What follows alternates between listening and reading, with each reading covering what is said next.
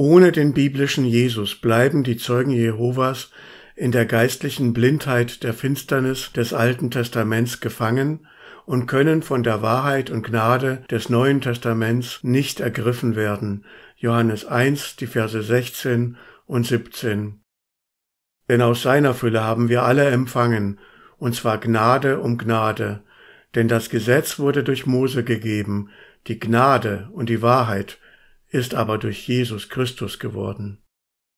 Die Zeugen Jehovas gleichen den Juden, welche den ihnen vom Sohn Gottes offenbarten Namen des Vaters, Jesus, ablehnten. Sie verboten sogar den Namen Jesus zu verkündigen, Apostelgeschichte Kapitel 4, Vers 18.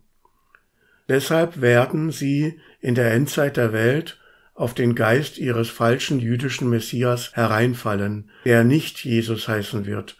Johannes Kapitel 5, Vers 43 2. Korintherbrief 11, Vers 4. Ich bin in dem Namen meines Vaters gekommen, und ihr nehmt mich nicht auf. Wenn ein anderer in seinem eigenen Namen kommt, den werdet ihr aufnehmen.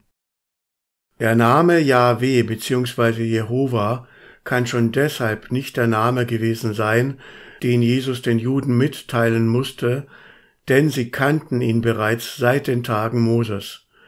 Vielmehr war Jesus Christus in Person der neu offenbarte Name des Vaters, denn in ihm wurde der Gottvater erstmals bekannt gemacht. Johannes Kapitel 17, Vers 6, Johannes Kapitel 14, Vers 9.